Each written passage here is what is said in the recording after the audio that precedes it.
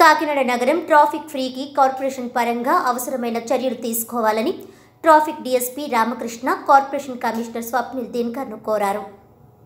Kakinada municipal corporation కార్యాలయంలో commissioner Swapnil దిన్కర్తో భేటీ అయి నగరంలో ట్రాఫిక్ సమస్యపై కార్పొరేషన్ పరంగా తీసుకోవాల్సిన చర్యలను కమిషనర్కు ట్రాఫిక్ డీఎస్పీ రామకృష్ణ వివరించారు.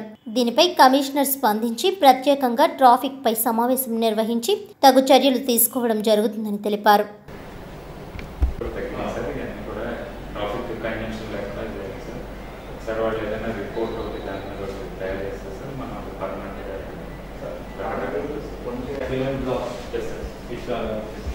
సార్ అది మేము ట్రైలర్ కింద పెట్టాం sir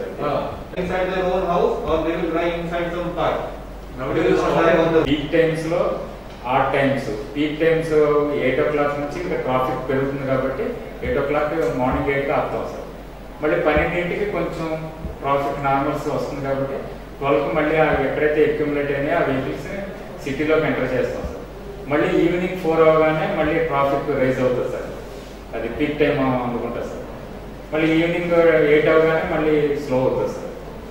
మళ్ళీ రాత్రి ఎనిమిది నుంచి పగలెనిమిది వరకు కూడా సరిగ్గా సార్ అలా కాకుండా పగలు మా ఇష్టం మేము ఎప్పుడైనా వచ్చేస్తామని చెప్పేసి అంటారు.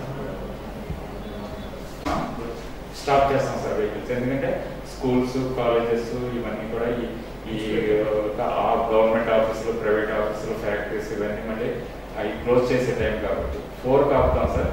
ఫోర్ ఓ క్లాక్ నుంచి రాత్రి ఎనిమిది గంటల వరకు ఆపుతాం సార్. రాత్రి ఎనిమిది గంటల నుంచి మార్నింగ్ ఎయిట్ ఓ క్లాక్ వరకు వాళ్ళు ట్రాన్స్పోర్టేషన్ అంతా కూడా లోకల్ బయట వెహికల్స్ అన్ని రావచ్చు సార్. ఇప్పుడేమవుతుంది సార్ మేము మార్నింగ్ ఎయిట్ కాకపోగానే ఇది శాండ్ లారీ డోర్ డెలివరీ వెళ్ళాలి అదే వెళ్ళాలి అని చెప్పేసి అవి వచ్చేస్తాయి సార్ బాగా స్పీడ్గా రావటం వల్ల మనకి లోపల యాక్సిడెంట్స్ అయితే జరుగుతున్నాయి. మరి ఏపీఎస్పీ దగ్గర ఒక. చివరికి ఎవరు అలౌ చేశారు అంటే ఇది ప్రాబ్లం గవర్నమెంట్ చెప్పేసి ఒక రోడ్ ఇండియాలో పెట్టుకున్నాను.